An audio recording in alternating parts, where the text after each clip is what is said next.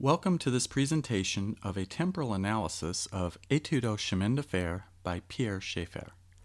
As the first work of musique concrète, a type of music or sound art constructed of real-life sounds which are then abstracted into an artistic expression, this work has great historical significance. On a musical level, it is also one of the finest examples of temporal form and balance. These factors make this work an enduring and relevant part of our musical tradition. There are many writings on the historical aspect of this work, and this presentation will discuss the temporal aspects. The method of analysis used is discussed in great detail in another presentation on this site called An Introduction to the Analysis of Temporal Elements in Music. This method of analysis is derived from basic fundamental cognitive principles of how the mind universally reacts to sonic events. Since this system is not dependent on meter or notation, it is one of the first systems that is able to analyze and explain temporal features of works such as this. As a brief recap, there are five basic temporal elements sustained, aligned repeating, non aligned repeating, aligned non repeating, and non-aligned, non-repeating.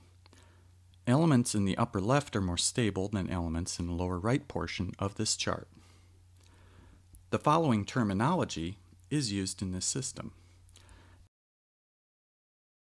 An event is a single sound, silence, or series of sounds occurring within the psychological present, which is approximately one and a half to three seconds, depending on the complexity of the context.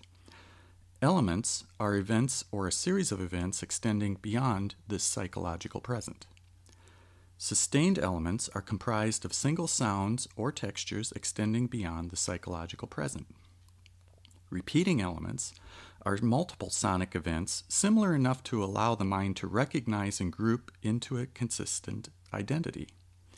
These may be exact or identical, which are the strongest form, but may also include weaker forms of repetition, such as highly similar events and long repeated events, which are comprised of material longer than the psychological present, yet within the active focus time of 3 to 9 seconds that then repeats.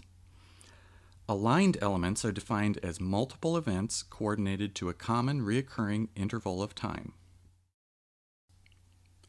We have Schaeffer's sketches, which show his application of serial techniques, such as retrograde, inversion, and symmetrical construction methods. These are very insightful into the techniques he used to create this work, but do little to explain the overall artistic flow and structure of the work. This was done intuitively. As a classically trained musician, Schaeffer's intuition in this pioneering work was highly influenced by the common practice forms and principles. As we examine the temporal analysis of this work, this training and influence is clearly visible, whether consciously or subconsciously applied. The factor of repetition is also paramount in this work, as also evidenced by Schaeffer's own comment repeat the sound fragment, it is not the same, it has become music. And this indeed he does to create and develop this work. An overview of this work shows a temporal structure that is surprisingly traditional, with an introduction, two part exposition of new techniques and materials, development of these materials and techniques, and a closing coda section. Since he was using a monophonic cylindrical locked loop recording device to create this work, only sequential juxtaposed use of elements is found in this work. Let us now look at each of these sections in greater detail. The introduction to the work opens with a traditional aligned, non-repeating train whistle musical gesture. He then begins a naturally occurring hybrid element, an aligned repeating, sustained hybrid consisting of real life similar repetitions of a train starting to move. These repetitions foreshadow the locked loop repeats that, although we take for granted as most ordinary today, were at the time of this composition quite revolutionary. The introduction then closes with a free, non aligned, non repeating series of train sounds, clearing the palette for the exposition. Like many classical exposition sections, he opens with the more stable primary material, in this case the locked loop recordings, which form a type of metered music.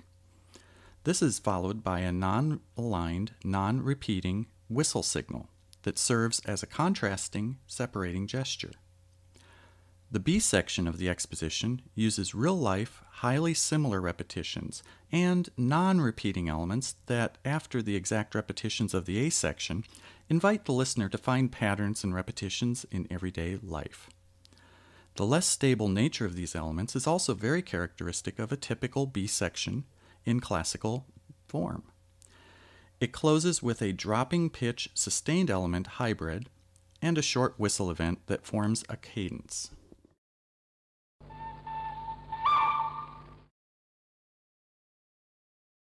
The development section almost entirely uses weaker, less stable, and less clear forms of repeating and non repeating elements, fragmenting and blurring their nature as would a traditional composer with musical motifs and themes.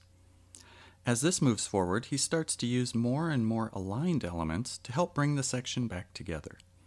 As with the previous section, a series of three whistle pitched sounds with natural decay forms a cadence.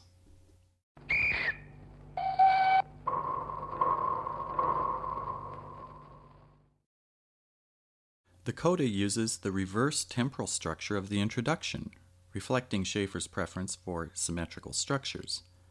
Here, the section begins with an aligned, repeating, sustained hybrid element consisting of pulsed real world whistle sounds. Then, as a closing cadential gesture, a musical, aligned, non repeating whistle gesture concludes this short but satisfying work. So, here is the three minute work in its entirety along with the analysis.